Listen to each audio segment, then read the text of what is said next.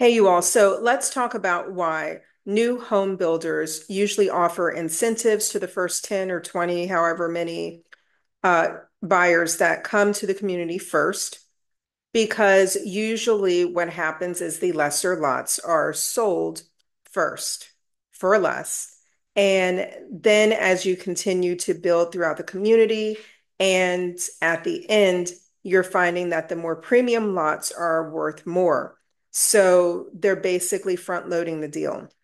You have all the buyers come in, everyone is locked in. You're giving your earnest money deposit, your down payment, which could be anywhere from, say, let's just say 5 to 10%, um, maybe even a little lower.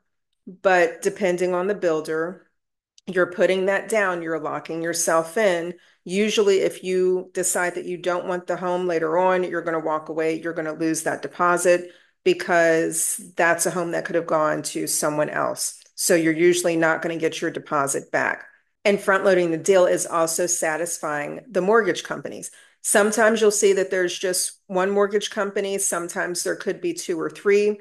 You also want to make sure that you ask if you can shop your own lender. Nine times out of 10, what I usually see is that the builder is offering incentives if you go with their lender. Usually, the builder has a vested interest in the lender.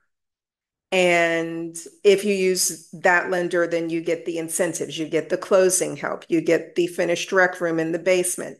But there are some times when you will see that they're offering several different uh, lending companies that you can go with. And if you see a lending company that you know a lender, you personally know a lender is with that same company, it doesn't hurt to ask, hey, you know, I've been working with this lender before, and then I decided to do new construction. Would you still honor the incentives if I go with this lender, especially if it's a lender that's within one of the mortgage companies that the builder is already using.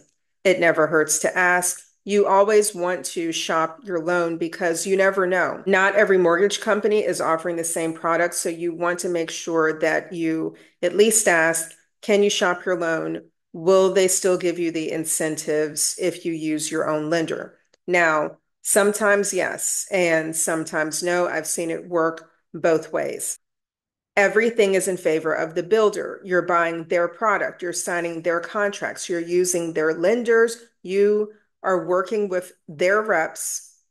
That's right, their reps.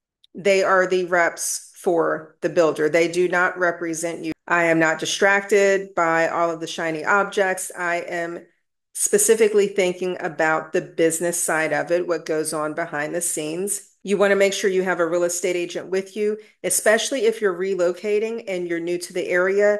You don't know anything about the DMV. All you know is that you have to be here. Maybe you're PCSing in, maybe you're relocating because of a school district, whatever it is. You want to make sure that you're working with a local agent who knows the area. Oftentimes, the reps in the new home builds may not have any firsthand knowledge of the area that they're working. They're just there to sell the community. But it doesn't necessarily mean that they grew up there, that they know the community, they're familiar with it. I'm not saying that it's bad to be one of the first buyers to buy into a new community. I'm just saying know what you're signing on for. Real estate is one of the biggest investments, if not the biggest investment that you'll ever make in your lifetime. And you need to be knowledgeable. That's all I have for today. Hope you have a great week. Bye.